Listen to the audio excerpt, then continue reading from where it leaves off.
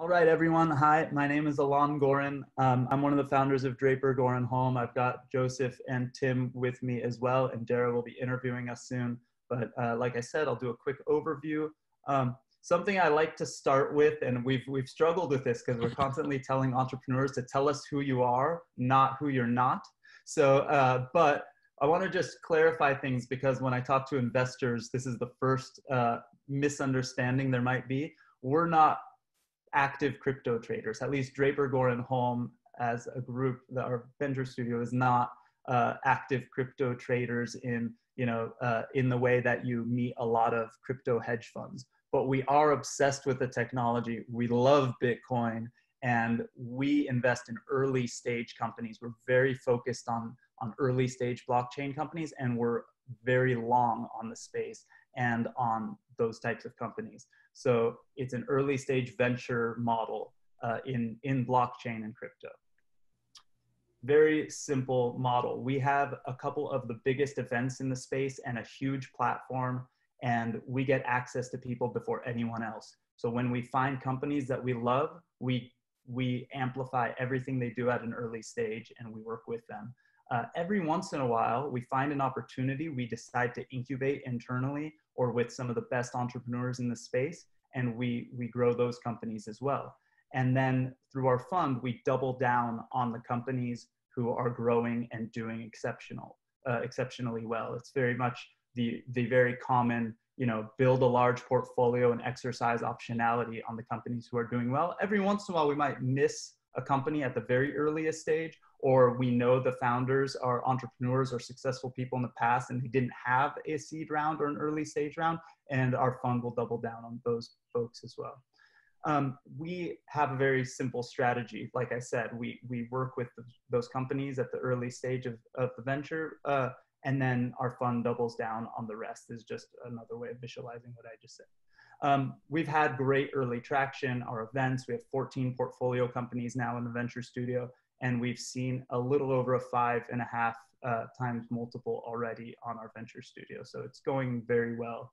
Um, our events, this just showcased a little bit. We've tens of thousands of attendees now, 150,000 people on our email list, and we get great distribution through our media partners, through marketing agencies we work with, through uh, our, our, automated marketing. I'll, I'll, I'm gonna try to go through this fast and, and we can talk about the, the details later, but we've had exceptional partners because of all of the work we've done in the space and a lot of them have become portfolio companies, partners for our portfolio companies. Some of them even have become LPs or investors in us. Um, the media part is, is exciting for us because even though we get all the crypto media, and I think I mentioned that we had about 65 media partners, we get the mainstream media to participate as well. It's really important for the crypto space as a whole. Um, but like as you can see in this picture, one of our CEOs of our portfolio companies is on our expo floor talking to CNN at one of our events. Is it's that's the type of exposure we try to help get uh, our our portfolio companies. We're very very hands on, um, and up until very recently, it was only Josef and I as full time staff um, and we were able to demonstrate the the sort of level of, of of larger groups because of the automated sort of marketing and and way that we run we run the group. All of these logos are people we talk with on a regular basis have spoken at our conferences or we've co-invested in deals on. Um, part of what makes us able to scale so large is our network. So we've got incredible venture partners. Um, a couple of these we haven't even publicly announced yet because we're staggering the, the, the publicity, but Joy Schoffler is one of the world's experts in fintech communications. Shruti was the head of Amazon blockchain until recently. Rodney is, is a huge community leader and the leader of Opportunity Hub. He introduces us to a ton of early stage blockchain companies. And David Blesnak is a, a, bit of a weird one because he's one of our portfolio company CEOs, but he's one of the world's experts in DeFi. And he introduces us to tons of incredible portfolio companies. We're a part of the Draper Venture Network, as, as you might imagine, but we were a part of it before Tim uh, joined us and invested in us. Um, and it's been incredibly valuable. We get to introduce our companies to funds around the world it's really, really valuable. One of them right now is writing a check to, uh, to one of our companies, the one we were discussing before the call. Uh, um, and, uh, and not just us, you know, distributing our portfolio companies, these guys, not all, they're traditional VC funds. Not all of them are experts in blockchain or, or anything like that. And they meet a ton of blockchain companies and they'll show them to us first at, for our expertise, for our opinion, to do a reference check. So it's a great, incredible source of deals as well. And not just for us, for our portfolio companies, they have a full-time staff of people who introduce them to corporate partners, who help scale globally. There's a private member portal where our companies can go and get find discounts at some of the corporate members, but also get connected to other investors outside of the network and things like that. They have a full-time staff basically helping our portfolio. This is invaluable for a small group like us. Um, and basically that's it, right? Our unfair advantage is that we get incredible deal flow. We get to spend a lot of time with the teams through of all of our events and things like that. Pick the ones we want to invest in, and then through our network, create opportunities and uh, and you know for for investments, partnerships, and and scale.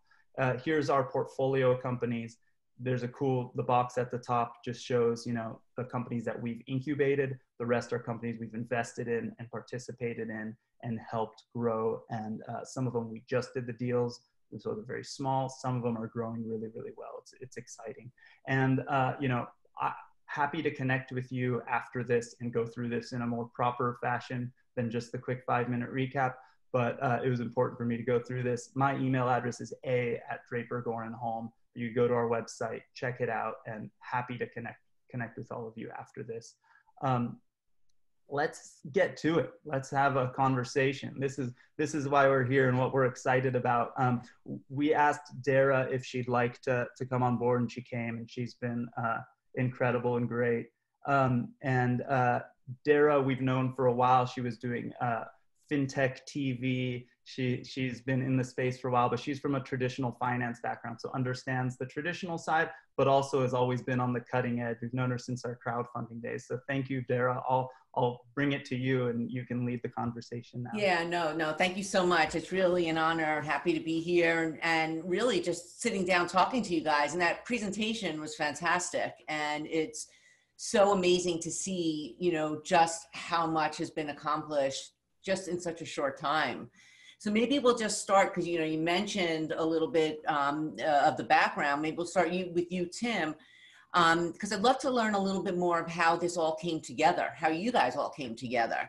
Um, you know, you, the, the, you, talked about the firm recently rebranding um, and putting the name Draper Goren Holm.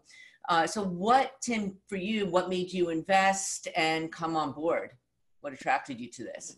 Well, we first met, um, well, actually, many years ago, we met because uh, I backed Alon uh, in a in a crowdfunding. Uh, he he was creating crowdfunding for other people, and it was a great concept. And uh, company didn't quite turn out the way we'd hoped, but he um, he kept in touch, and and then he entered. He uh, brought me to one of his conferences, uh, and it was a spectacular conference. It was a fantastic group of people.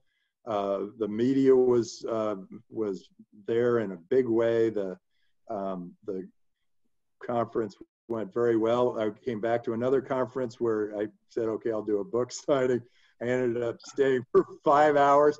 I I signed 800 books. Wow. Um, and then uh, and then I realized that this was a, a community that really was looking for something. It was a it, it's a tight group and it's a community that's saying, hey, the existing system isn't working for us. The the the the bank with the government and how how fiat currency gets distributed and moved and whatever, it's not working for us. And that was even before the US government just planted nine trillion dollars on on us and, and diluted the dollar by about 20 percent. Um, before the i mean because it we it was always like a theoretical thing about like oh yeah those guys in argentina have bad currency or or in nigeria bad currency. They weren't thinking hey that the dollar was could be subject to political whims. But they were still a very strong great community that these guys had really encouraged and developed around uh, Bitcoin, the blockchain, smart contracts, uh, this new way of thinking, the new way of operating, this, these new currencies that were decentralized and open and transparent, tied to the blockchain. Uh, you know, this is this is like magic. You don't have to pay two and a half to four percent when you swipe your credit card. The banks don't take money from you every time you you make a purchase. Uh, this is this is a new way of operating, and and as more and more people get more and more enthusiastic about it, their friends get on board, and and it's a and it's a growing thing. Well, well, these guys had created that community down in LA, and had um, and that community started to grow and become a global community. And I got very excited about it, and I said, you know, and they they wanted to build this uh, this uh, accelerator for for blockchain, Bitcoin, uh, smart contract companies. And I, I said, yeah, this is a great thing. We'd love to have you first in the network. And then I, I said, yeah, I want to invest. I think this is going to be something really extraordinary. Uh, and I think we have, uh, we work together very well and, uh, and have had uh, a lot of fun working together. And so I think it's going to be uh, the beginning of something extraordinary. I, and, I agree, and, even and I, have inside been... the network, you know, inside the the Draper Venture Network, we have a lot of expertise in crypto. We have a lot of expertise in smart contracts. We have a lot of expertise in the blockchain and Bitcoin. Uh, but it's nice to have a group that's completely dedicated to it, and I think that that is a that is a real asset we have. And uh, and now um, yeah, I think this is going to be a great thing. So it's exci- it's exciting time, I'm and you know, privileged to be a part of it. Yeah, and watching you guys grow from the beginning, but also you really are on the forefront, and we're going to talk about in you know in this conversation some of those changes that are happening in the space because it feels like you know it feels like the industry is moving you know second by second. You know you can't even keep track of everything that's happening. So maybe also for for you for you Josef, um, how have the, the co-founders, the venture partners, and everyone worked together? It seems like you guys have a really great camaraderie. How do you, you know, how do you see the whole, the, the whole group? Yeah, I mean, you know, just like uh, Tim and Alon, we've all known each other for a really long time, and and uh, you know, Alon and I met at South by Southwest on a panel where we spoke about crowdfunding in in 2014. Uh, and and that that panel in hindsight ended up being really historic in the way uh, that uh, two of our venture partners, Joy Schoffler and Rodney Sampson, also spoke on that panel. So you know we've all like uh, we've grown since then. We've we've moved on to do new things. We obviously you know get into blockchain and Bitcoin and, and cryptocurrencies, but we you know there is a lot of trust. Uh, we like each other really well, and and that's that's why uh, it's it's a, such a privilege to work with these guys uh, and has built a great foundation that we're now you know raising this fund on. That's great. All right, so let's take let's really jump in now to kind of the meat and potatoes and really get into the kind of into the weeds and you know what's happening in this blockchain space. Um, so maybe Tim, I'll start with you you know, why invest in blockchain startups? I mean, what, what's the big opportunity here? Is this like 1990, you know, is this like 1993 and this is, you know, the internet emerging? Is it bigger than that? How do you see it? Yeah, it's like 1980. It's like 1890 oh, when okay. they created the banking system. Right. Um, this is one of the biggest thing. I mean, okay, the internet was interesting. It it transformed industries like communications, information, gaming, entertainment, uh, media, whatever. Lots of interesting industry. Eventually, uh, transformed taxis and hotels. But these technologies, uh, Bitcoin, the blockchain, smart contracts, are are going to transform the the way we operate, the, the way the financial world operates, the way uh, governments operate, the way uh, people uh, communicate and do business with each other. Um, first of all, they're global. Uh, the world went global with the internet, and um, some governments are trying to put the genie back in the bottle. You know, like the Chinese government is trying to go, no, no, no, we're tribal, we're a tribe, and they, they the people of China realize that this makes no sense, and we want an open system, and the world works better that way. So it's global, and it it allows um, people to be in Syria, and if they have a bad government in Syria, they get sent to Greece as a refugee. They can take their money with them. They don't have to have a bunch of Syrian, I don't know what they are, type of dollars that and that nobody's going to take in uh, Greece. So so people can move this money very easily, very flexibly all around the world. Um, it's it's decentralized in that um, you you don't have a, a, any government saying here's how many we're going to print, and it it's all driven by politics. It's driven by the whims of some leader or whatever. Uh, this is decentralized. They, um, and Bitcoin doesn't change. That will be 21 million, and that's it. Um, and and some like Tezos have um, the owners of the currency are the ones who vote the currency and decide whether they're going to print more or whatever they're going to do.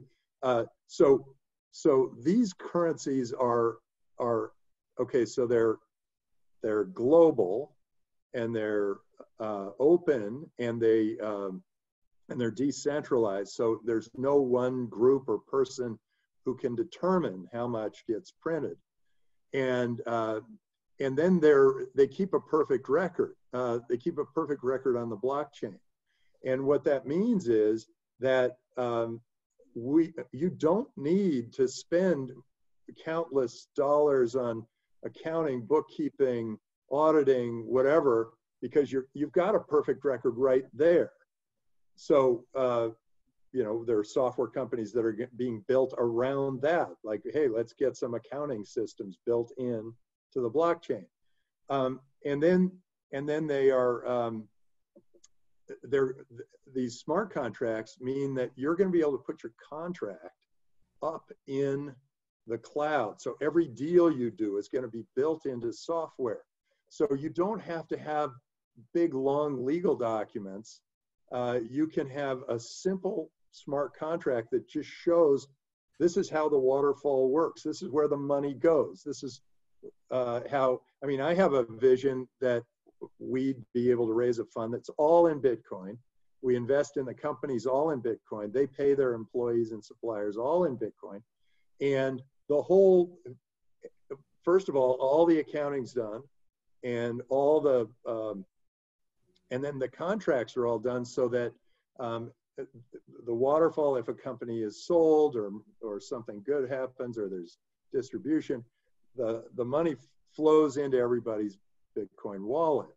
Uh, this is a natural, and it would, we, we spend, venture capitalists spend a lot of money on these support services, the accountants, the lawyers, the right. auditors, the transfer agents, the whole thing. Um, that system is about to be completely automated.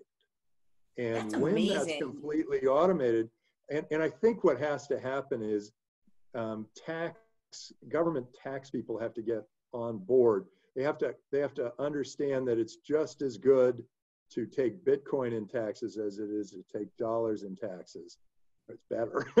and we're starting um, to see that, right? We're, we're seeing that a little bit and, here and there with, and, with and new so legislation. If, right. So if you build a, a you can either just mimic the existing tax system and just say you can do your work in if you do your work in dollars, you pay in dollars. You do your work in Bitcoin, you, you pay in Bitcoin.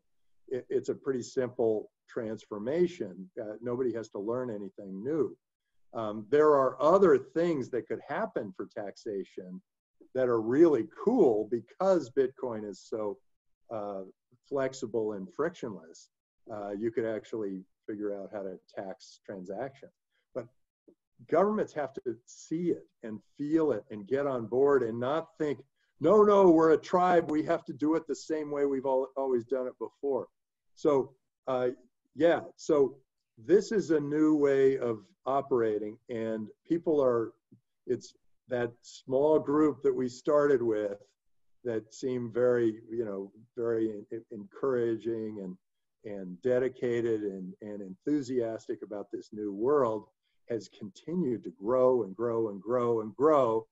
Uh, and they've overcome all sorts of things where China said Bitcoin's illegal, and then all of a sudden Japan says Bitcoin's a national currency. And then uh, Binance gets kicked out of China. They have to go to Singapore, and Singapore then gets heavy handed. They go to Malta, and Malta goes, "Come on in." Right. Um, all of these things are starting to happen where where we're we're growing. It keeps being bigger. And this COVID thing has made it so people have increased their usage of Bitcoin wallets to the point where Goldman Sachs is starting to panic and they're saying, wait, wait, you guys are all taking money out of my bank? Hmm. You're, you're taking your money out of my bank? And they're, they're going, no, Bitcoin's not an asset. We don't want that. Um, it's, it's, they're, they're panicking and they're saying, uh, and they're and they're doing what they can to stick in this old tribal world when the rest of us are in this new global transparent open frictionless world and uh, and i know because i've taken money and moved it recently taken money and moved it into bitcoin uh, taken money from uh, the bank and moved it into bitcoin and my banker said this is going to bitcoin Right. Like, like I love it. More money is leaving our bank. And so there is a, you know, and then you hear from Warren Buffett and he goes, oh, this is, you can just play around with it. Of course, because he has most of the dollars. You know? Right. He has a bunch of dollars. And he's watching them dive as governments are printing them like crazy. And, and he's thinking, oh, God, I like the way it works now. I don't want I don't want this global world. Keep it the old way. So we're seeing, and then if you ask somebody who's 35 years old, would you rather have $10,000 or a Bitcoin? They will all take Bitcoin. Anybody right. younger than 35. Older than 35, most of them will still take the dollars, but they're they're dying off.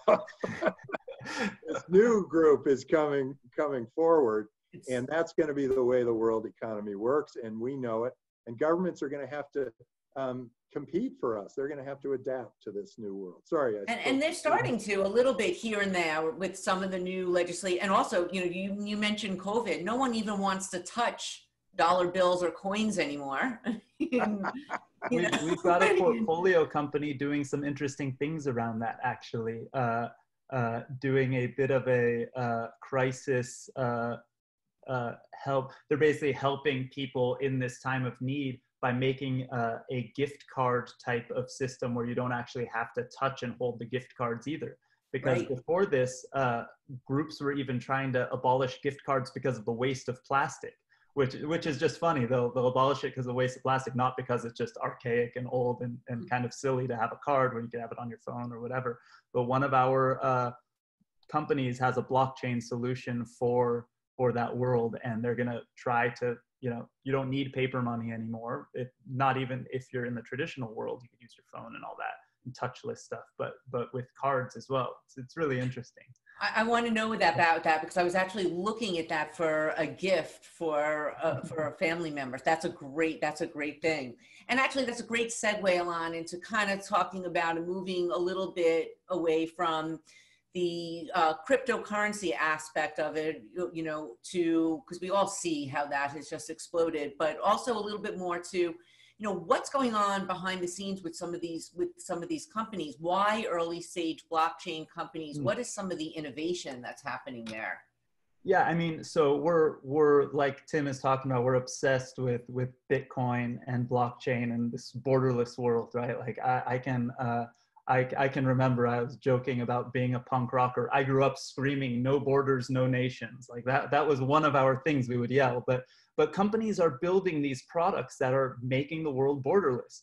Uh, whether you you know uh, uh, believe in, in some of these things or not, they are creating technology to streamline working with regulations, doing all that stuff. Why early stage startups in particular? Um, it's there's there's a few reasons. One we're we're early stage startup guys. We can add the most value to companies in that space. Both Josef and I. uh, know and understand that world uh, better than any other world, and especially in fintech. And so, for that reason, we've always gone to or to early stage companies. We've always worked with early stage companies, and and and we've we've done that uh, from a just VC standpoint. Why early stage companies? Um, when I was a venture partner at one of the other Draper network funds, I learned a ton from uh, Eric Manlunas at Wavemaker about why early stage, and they had incredible data that basically showed every single stage of the venture process in investing. There's less risk when you go into D plus stage uh, investing, but as a category, the early stage model actually was the most profitable as well.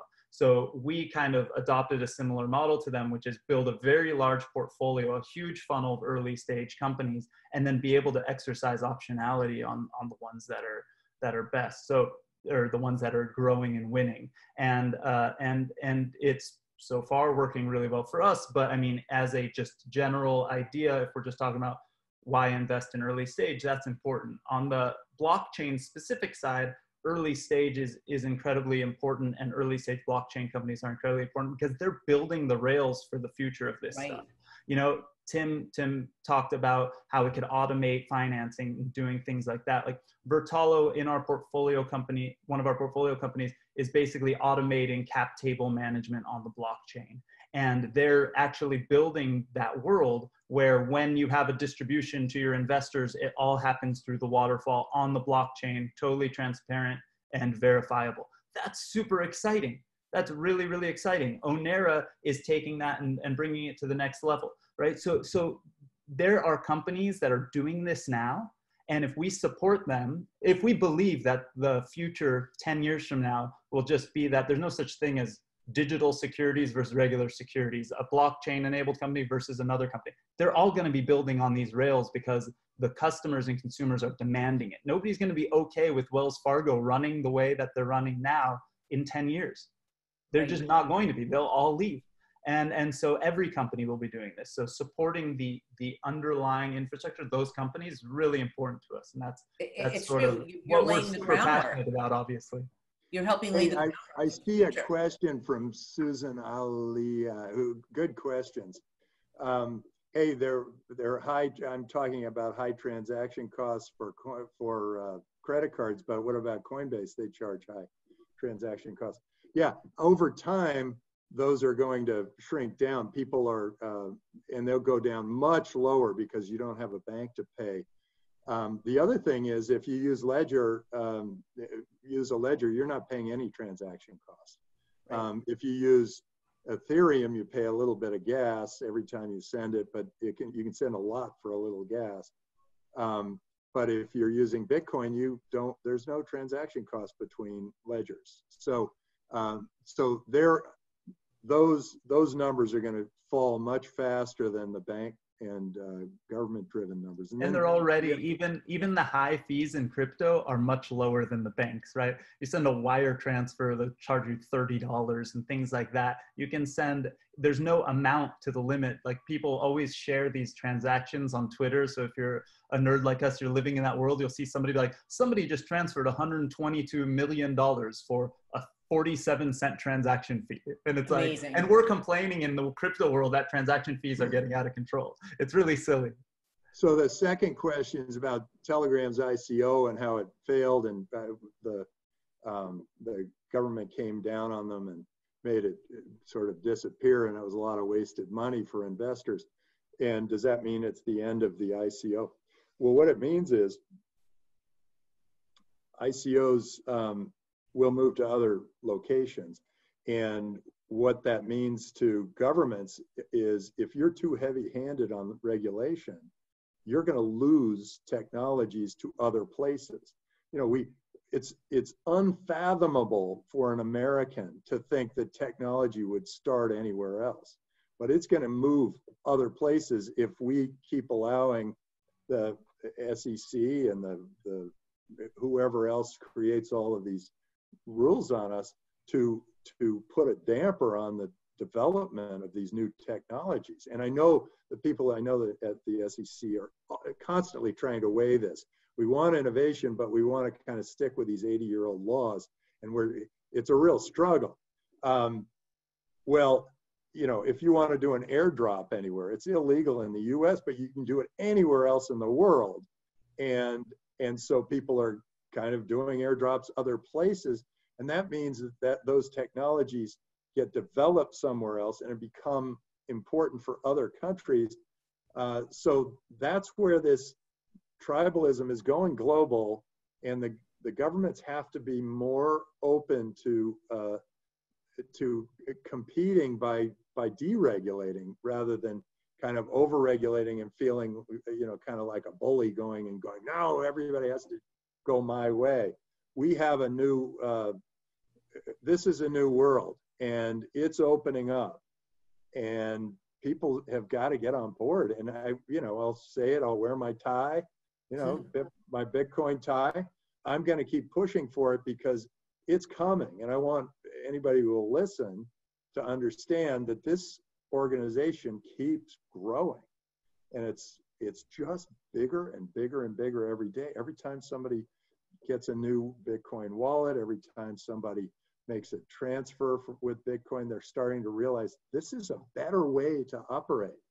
And uh, and so you're going to have regulators go no we want it to be the old way. We want it we have an 80 year old law. It should stay that way. I'm looking at that 80 year old law and I'm thinking, God, this is crushing the U.S. Um, innovation. And, uh, and it may be time to kind of revisit that, rethink it. Uh, but, you know, they're caught up thinking about this virus that turned out to be, you know, one eighth of the flu from 2018. So, uh, I, you know, they're they're they're lost in these other things that are shinier objects to them right now. But boy, the world economy is changing, and the where where innovation's happening is changing, and it's going to be uh, very much a global world. And I I think it's time. You know, if you guys are investors, get on board. And, and you know, truthfully, the only thing you could ever truly bank on is change. I mean, we're not sitting here talking on, you know, landlines where we can't see each other. You know, we, we, we're not riding into work on our horses. I mean, the whole world changes. You know, it was interesting and, and to the big, biggest beneficiary of change is, is the entrepreneur who drives the change. The second biggest beneficiary is the venture capitalist who supports the entrepreneur who drives that change and that's why it's so great what you guys are doing. And you you had mentioned um, uh, DeFi, and maybe Josef, you could kind of jump in a little bit uh, for those out there who don't really understand the concept or the meaning of DeFi. Could you dive a little bit into that and talk a little bit about what you're doing in that space and some of the companies that, that you're working with in that space? Yeah, sure. I mean, the, the discussion is a lot about disrupting the financial system and the banks, and and DeFi is just that. Uh, it, it it's essentially using smart contracts and automation to remove the middleman. Uh, you know, so one of our portfolio companies, uh, DeFi Money Market or DMM, they have launched a, a real-world asset-backed stablecoin uh, that that earns uh, income from uh, a carpool loan uh, that they put on the blockchain and that pays six and a quarter percent interest rate, right? So you can take your money to Wells Fargo and get 0.05%, or you can put it on a blockchain and get over 6%. And that's really exciting. And, and what's even more exciting to me is, is like Alon said, this is building the rails, right? So other entrepreneurs can come build applications on top of this that, you know, create a better user experience and that, that reach more mainstream consumers. And then they can decide whether they want to put their money to work for them or not. And, and that's part of what decentralized finance really uh, is all about and why, why it excites me so much. So it's interesting because you had Tim before talking a little bit about, you know, changes that need to be done in these 80 plus year old securities laws. You're talking about, you know, DeFi, which is, a, you know, a complete transformation, decentralized. Talk a little bit about, and this is an area I'm really interested in because it's interesting to see where it goes. You kind of put those two together and um, security tokenization, asset tokenization. Um, where are, you know, I, I'd like to learn a little bit more, you know, we call it the, the security token space. Um, and I know you guys just did a, you know, big conference about this um, a couple of months back. Um, could you tell us more about that space in particular, why it's so exciting, where you're investing in that, in that area? Yeah, so I, I think of this, there's, there's like, it's like a step process for me because ideally the idealistic part of me wants only bitcoin wants a thousand you know a million percent decentralized. Let let us work peer to peer and we'll work with each other. We'll decide who we work with and if people are dishonest we'll find a way to get rid of them. But whether or not we agree with it or not we live in the united states. Um, there's other people that live in malta. There's other people that live in uh, the uk there's other people live in australia israel wherever you live you have regulation in your jurisdiction. And so there's companies, one of you know one of our portfolio companies, Onera, sort of led this discussion at at this uh, at this conference that we put together, and we had uh, the head of blockchain for for Goldman Sachs and for Morgan Stanley and for every one of those large institutions we were just talking about who who are goofing around on the Bitcoin side, but they are dying behind the scenes to actually use this technology or figure out where they're going to use this technology. And the way I see it is that if we have to play with regulation uh, and play ball with it, let's find a way to use the technology to streamline it so much so that we don't have to actually, you know, so that the legal part is automated, so that the accounting part is automated. And what it's eventually doing is it's creating this digital jurisdiction and it's making it easier for people to choose where they live on the internet. And uh, there's countries like uh, through through Tim we met um, uh, uh, the Estonian president I think it was, and and he created digital citizenship in his country. People are going to start doing this. It's happening, and so creating the rails for the global uh, economy to transact with each other digitally will streamline all of the processes and make make it easier for institutions to play ball. So something that's interesting there is that that company I mentioned earlier, Vertalo, that's bringing cap tables to the blockchain, did an integration with Onera, another one of our portfolio companies, and they instantly showed the, the number one problem the institutions were having was they said, well, we'd like to play ball with each other. We'd like to take our $500 million bond and digitize it and make it easier to trade, but there just isn't products out there to do it that are compliant. And they literally showed in, in, in the, in the thing, in less than 10 minutes, they showed how they could hand a bank an issuance platform that will integrate directly with their technology and transfer assets and show the represent the representation of the assets on the blockchain, show the cap table, do their waterfall distributions without any middleman. They, they demonstrated this to Goldman Sachs, to Morgan Stanley, to all of these banks right there on the thing and said, no more excuses. We're doing it and we're working together. So we had the head of IBM blockchain on there and the head of R3 and all of these consortiums were on there and they basically said, we're ready to go. Let's do this. And and now we're seeing behind the scenes, we can't talk about specifics, but some of those major banks are talking to our portfolio companies about putting their assets on the blockchain. And I, I think this is a stepping stone. And I, I've said this out loud at the beginning of the thing. It's going to be a join us or, or, you know, go the way of the dinosaur, right? You're either going to become extinct or you're going to be become a part of this, this new, uh, this, this new technological revolution. So that's why I get excited about that. You know, like I, if I'm being brutally honest, I would rather everyone just let's let's just let's just go straight to DeFi and let's everyone do their own thing. But it's it's not going to happen. I have a family. I'm not going to break securities laws, right? So uh, eh, so and I have no choice. And so let's figure out how to streamline that so that I don't have to spend $100,000 in legal fees for my company to raise money on the internet um, and, and things like that. So it's or a million dollars plus to do an IPO. Exactly. It's, it's absurd. It makes no sense. And it, it cuts, it cuts entrepreneurs off at the knees, right? That that's not how it, it should be. We need to, we need to foster innovation, make it easier for people to innovate, not, not slow us all down.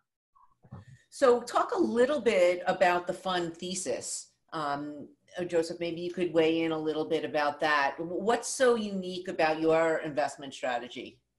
Yeah, sure. So our platform really is the is the summit that we host once a year at the LA Convention Center. So LA Blockchain Summit attracts thousands and thousands of attendees.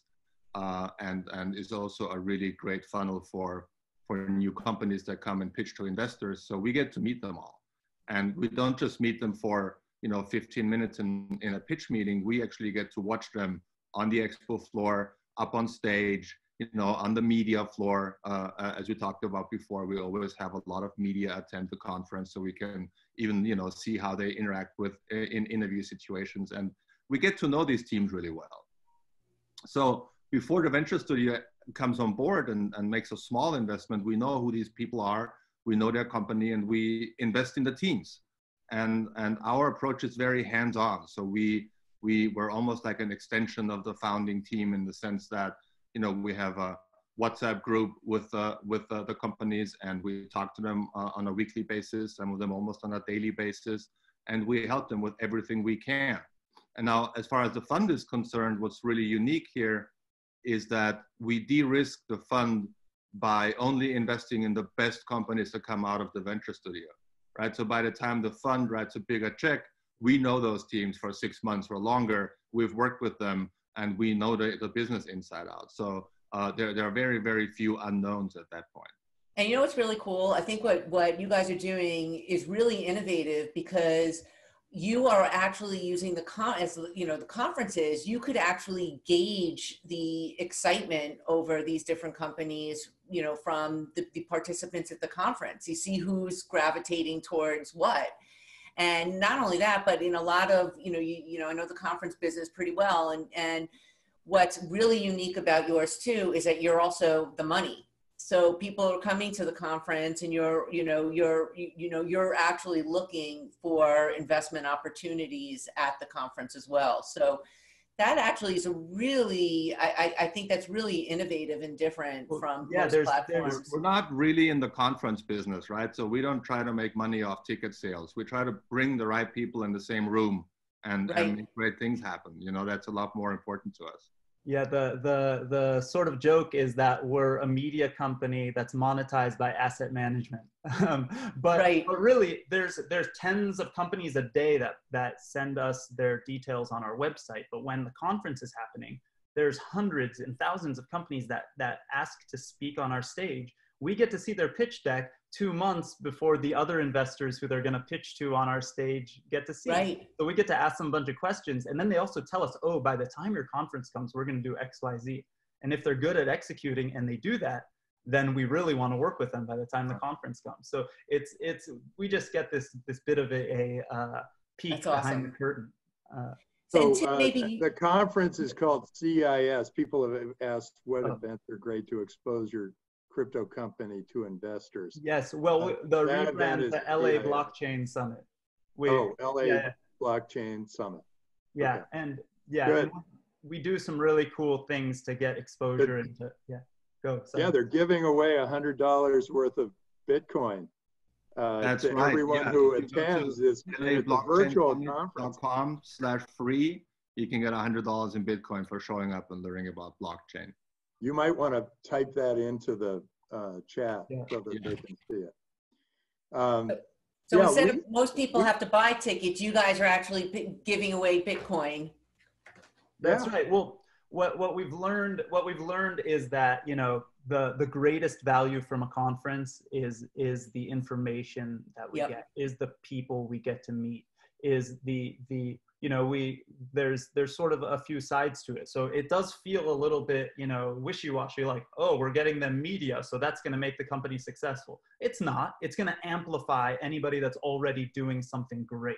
And then what's really exciting about it is we have great partners in the space people who aren't in our portfolio who basically subsidize this amazing opportunity for our portfolio. We have an amazing expo floor where investors and people get to meet our, uh, all of the companies that come to support us. And about half those companies happen to be our portfolio companies. The other half right. of the companies pay for the, our portfolio companies to be there. So it's, it's, it's a really uh, excellent opportunity. Otherwise, companies pay tens of thousands of dollars for, for this stuff. So um, maybe Tim, I, I, think it's a great model, and maybe you could weigh into just how it fits into the whole um, Draper Venture Network. Um, yeah, you know, we so we have found that um, deal flow turns out to be the most valuable part mm. of a venture capital organization. And uh, And we have innovated on deal flow in many different ways. We have Draper University, we have the Draper Startup Houses around the world, we have the Draper Venture Network of venture funds around the world that all get together. Um, we keep a high profile. Um, and and that and we become sort of our own media company and sorry um, and uh, and we do all this and so that people know in fact i'll send my uh, email address to everybody because uh, we find that um, that all of those interaction all the speaking engagements at all the conferences all those things add up to more deal flow. And then when the deals come in, we get so many deals. Um, we have a system for filtering down to the ones that are kind of interesting. And, uh, and you have a conference, and that conference is in a growing industry. You want that, and it's the leading conference in this right. industry. Uh, you know, it's it's the, the one blockchain conference of the world. Um, and if you have a conference, that generates incredible interest.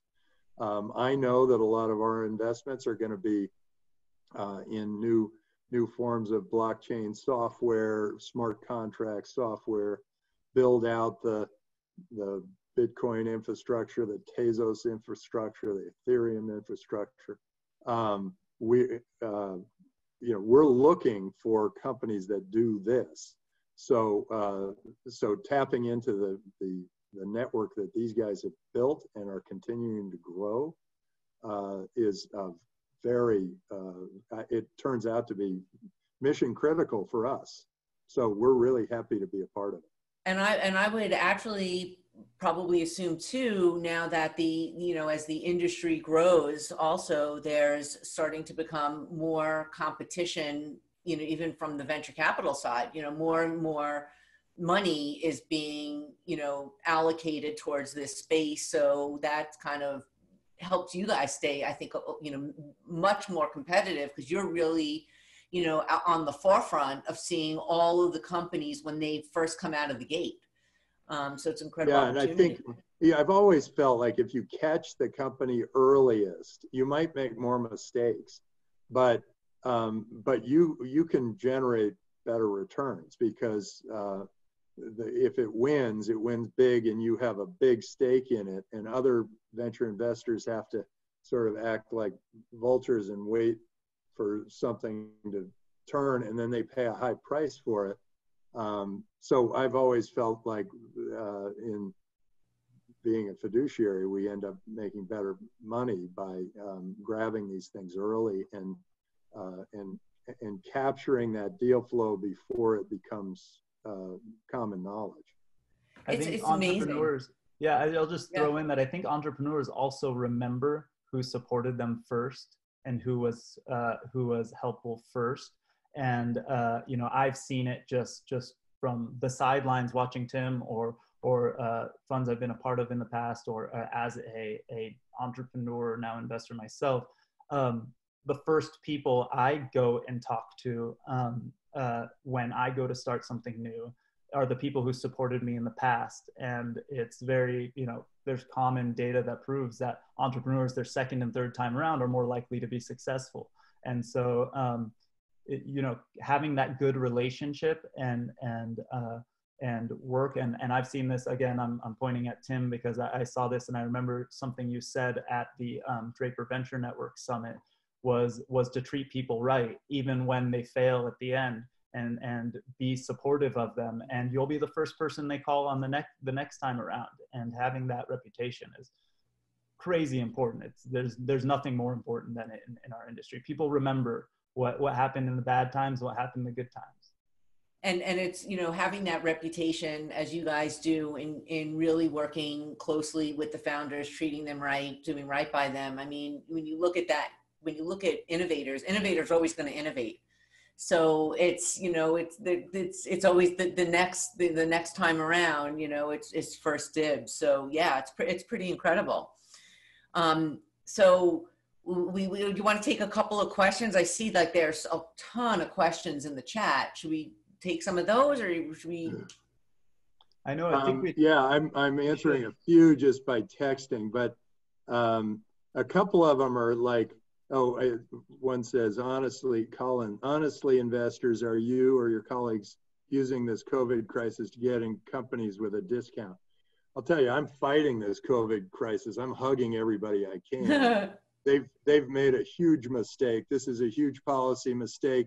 It's a huge media blitz mistake. We have we're afraid of each other, and we shouldn't be. We need herd immunity, and uh, and it turns out it was not much of a flu. Uh, I I'm looking and and thinking we we really need to get back to uh, where we were before. And it's weird the the markets the markets determine whether venture capitalists are paying higher or lower prices and the public markets are sky high. I don't quite Right. understand. If you're an investor today what do you put your money into? You don't put it into china because that they've that you're just handing it over to the emperor.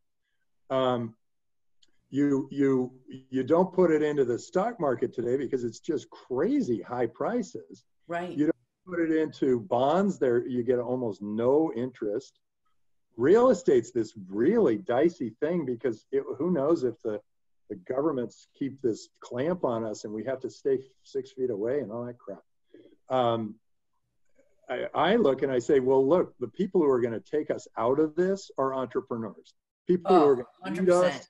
Lead us to this better world, they're entrepreneurs. And uh, everything we can do to support them, let's go for it. If the market's low, naturally we will pay a lower price.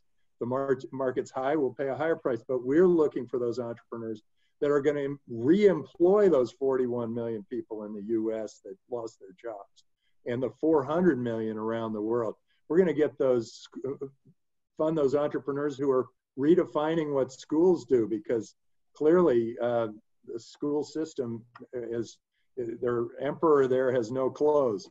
Um, we're going to see that, and the healthcare system is also kind of, you know, it's kind of been exposed, and people are able to do, do a lot more dry labs than wet labs. It's they can um, they can do a lot of the doctor patient thing through a Zoom call. They Right. a lot of interesting things are happening out there and this is um, so anyway that's a, a long answer to a short question but um, if you're an investor i mean if you either support entrepreneurs or support venture capitalists who are, on, are supporting entrepreneurs and if you want this new world which i mean is going to be so much more peaceful and loving and and full of uh, vibrant and and opulent uh, than our existing world, uh, you really uh, you really want to support this group because this group will uh, w- will be only focused on that world. Uh, you know, and And Draper teams in general are also Yeah. just focused on driving this new world that's decentralized and open and transparent. It's going to be um, it's going to be better. And so if you're eh, yeah sure if you I mean and you probably make a lot more money because the the industries we're about to transform are bigger than any industry that we've ever seen transformed Yep. in the history of humanity. So uh, you know, it seems to me like, look, you you put your cash in Bitcoin and you put your money behind venture capital and entrepreneurship, and that's where the future is going to be. That's we adapt and change faster than any other industry. Uh, And you know, the fact is too, you know, investors are going to be uh, buying these companies one way or another, one day or another. So better to buy them now early when you could get them for a song than when they actually IPO and are trading, you know, in, uh, uh, on the on the equity markets. So it goes back to the original point of, you know, of you know, companies. Part of what's happening here, all these companies just IPOing so late in their life cycle that that you know mainstream investors can't get in on the ground floor and this is a tremendous opportunity you know especially at a time when we have this new and remarkable technology that really is transforming not only finance but businesses all across the globe absolutely. I mean, uh, we we talk about getting in early and things like that. That's that's the the crux of our model, right? And um, and so we we get to. I know Tim uh, is is uh, has a call. I think I think we all uh, want to be uh, cognizant of time for everybody. And We should promise to end by so. hugging, you know, virtual hug. since Yeah. Virtual hug. Hey, I like Yeah, it. I, I want a real one. so so what what I do uh, you know want to throw out there again to everybody um, we will follow up of course with the attendees. We'll make a video of this available and stuff. Uh, if anybody wants to connect um, Tim put his email address Tim at Draper VC mine is A at Draper Goren Holm Josef's is J at Draper Goren Holm but we'll reach out. We'd love to connect with everyone and be your sounding board for any blockchain investments you want to make. It's it's important to us to to help uh, anybody wanting to invest in the space. And so if if you're interested in learning more, or if you're looking at a company, or if a company comes to you, maybe you feel it's too early. That's that's our sweet spot. We want to be the first check into these companies. So so please uh, stay stay in touch with us. Um, uh, any any last words, everybody else?